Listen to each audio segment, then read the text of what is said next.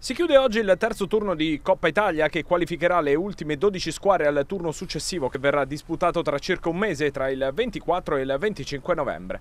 In campo 12 partite tra cui Parma-Pescara alle ore 18 allo stadio Ennio Tardini. Per i biancazzurri di Massimo Oddo la possibilità di sperimentare qualche soluzione con giocatori che hanno trovato meno spazio nel difficile avvio di campionato. In porta per i biancazzurri dovrebbe esserci un'opportunità per uno dei tanti ex della gara, Fabrizio Alastra al posto di Fiorillo, difesa a 4 con con Balzano e Enzità, terzini e con il giovane Gutte e Bocchetti a formare la cerniera centrale.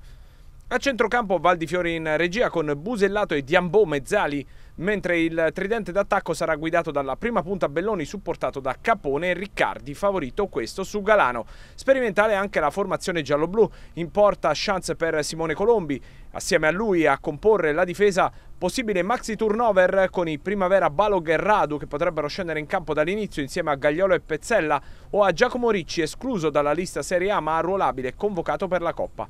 Meno probabile la presenza dal primo minuto di Lautaro Valenti che però potrebbe esordire nella ripresa. A centrocampo ci si aspetta l'esordio del primo minuto per tre nuovi acquisti Cyprien, Som e Hans Nicolussi Caviglia finora mai utilizzato. Rebus trequartista o 4-3 per Liverani che potrebbe schierare Dezzi dietro alle punte ovvero Inglese e Adorante, che potrebbero essere la possibile coppia d'attacco. Pescara che non ha come obiettivo prioritario la competizione nazionale, ma che a Parma vuole cercare di dare nuovo slancio ad un avvio disastroso di campionato con un pareggio e quattro sconfitte nelle prime cinque gare.